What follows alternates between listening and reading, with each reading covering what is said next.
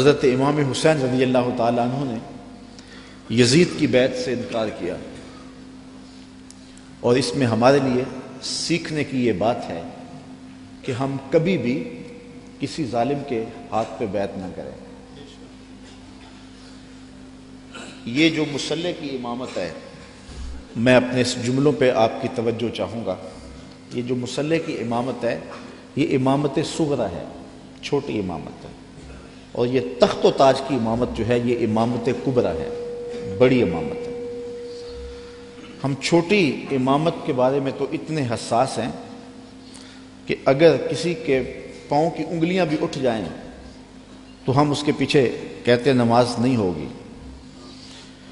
अगर किसी शख्स की दाढ़ी का साइज़ छोटा हो तो हम इस पे एहतियात करते हैं कि इसके पीछे नमाज़ वाजिबुल इयादा है। तो यहाँ तो दाढ़ी का साइज़ और उंगलियों का लगना और उठना भी देखते हैं कि नमाज़ है तो इमामत सुगरा में हमारी ये एहतियात है। और जहाँ इमामत कुबरा का मामला आए, वहाँ आँखें बंद करके बैठ जाए। तो हमें सोचना होगा, हज़रत इमाम हुसैन रज़ी अल्लाह तु ने फरमाया था, व मिसलना ला ये नहीं कहा था कि मैं यजीद की बैत नहीं करता, कहा मेरे जैसा शख्स यजीद की बैत कर कैसे सकता है? यजीद फास के मोलन था, यजीद शराब पीता था, मुसलमानों का कातिल था, फाजर था। और इमाम हुसैन रज़ी अल्लाह तहो की परवश आगोश नबूवत में हुई थी। तो यजीद के नापाक हाथ में इमाम का हाथ कैसे आ सकता था? लोग सर बचाने के लिए हाथ दे देते हैं और इमाम ने हाथ बचाने के लिए सर दे दिया।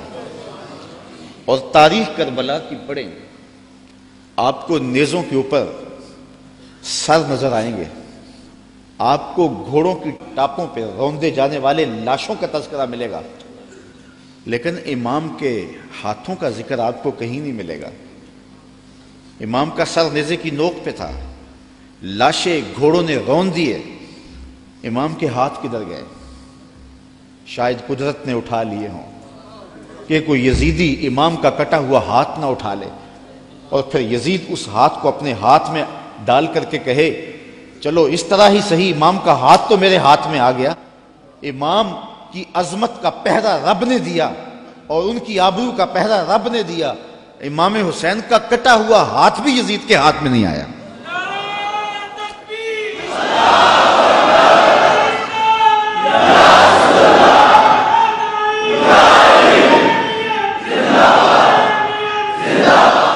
और इस हाथ को बचाने के लिए मदीना छोड़ा। मदीना छोड़ना कोई आसान तो नहीं ना? आठ दिन के लिए आज ही जाता है ना, मदीने में रहता है। और जब छोड़ता तो क्यामत टूट रही होती किसी ने पूछा था, उम्र और हज का माजरा तो मैंने कहा था काबतुल्ला पे पहली नज़र मुश्किल है और रोज़ा रसूल पे आखिरी नज़र मुश्किल है। तो आठ दिन रहने के बाद वहाँ से पलटना कयामत होता है। और जिसने ज़िंदगी मदीने में गुजारी है, जो पैदा मदीने में हुआ, जिसके घर का दरवाज़ा मस्जिद नबवी के अंदर खुलता हो, जिसका मस्कन और मौलद मदीना हो तो अपनी फ़िक्र की आबियारी के लिए और यजीद से अपने हाथ को बचाने के लिए आपने वो शहर मदीना भी छोड़ा, शहर खूबा भी छोड़ा, फिर मक्तुल मुकरमा भी छोड़ा। अगर हज़रत इमाम हुसैन रज़ी अल्लाह तु का मुद्दा सल्तनत का हसूल होता तो इतने थोड़े लोगों के साथ आप कभी भी सफ़र न करें। टोटल एक सौ पैंतालीस अफराद हैं बच्चों और ख़वान के समेत। और सारा मदीना आपका मुरीद है। तरमाह बिन अदी बिन हातम रास्ते में मिलता है तो तीस हज़ार का लश्कर आपकी पुश्त पे खड़ा होने का इंदिया देता है। आप फरमाते मुझे यह भी कबूल नहीं है। यजीद का मकरू चेहरा बेनकाब करने जा रहे थे और उस शहादत को चूमने जा रहे थे, जिसकी बशारत रसूलुल्लाह ने दी हुई थी।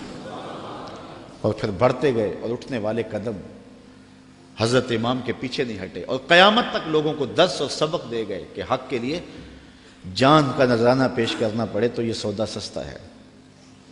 आज दीन की कदरें पामाल हों और हम ढब से बात भी ना कर सकें।